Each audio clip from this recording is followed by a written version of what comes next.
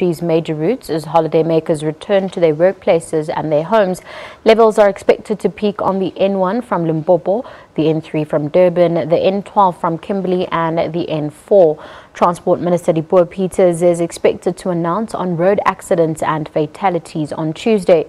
The rain is also hampering driving conditions and motorists leaving KwaZulu-Natal had to contend with wet and slippery roads.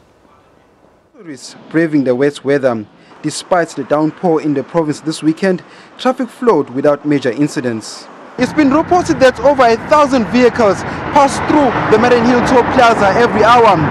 However, road authorities are warning motorists to drive very carefully. Wreaked havoc in some parts of the province.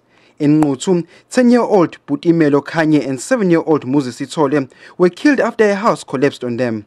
Disaster management teams have been dispatched across KZN.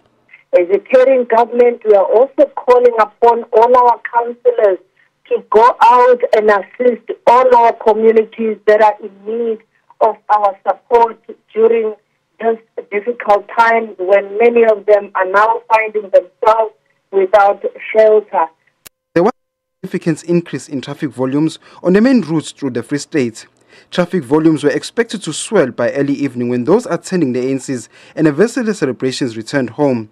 Drivers appear to be adhering to the rules of the road. London back to Secunda. Traffic wise on the road, uh, it's very comfortable and the people are driving very comfortably. Uh, I've seen a lot of people taking some uh, rest on the road, and which is very responsible. We are from Cape Town, going to Johannesburg. We stay in Johannesburg. The traffic is not bad; it's okay, and the drivers are they're behaving. I'm traveling from to Johannesburg. Uh, traffic is quiet, but um, I've seen that the other people are very impatient. They um, almost push you off the road if you just let them past, or they just overtake where they're not supposed to. Were expected to improve from Monday. Lungisi Kumalo, SABC News, Durban.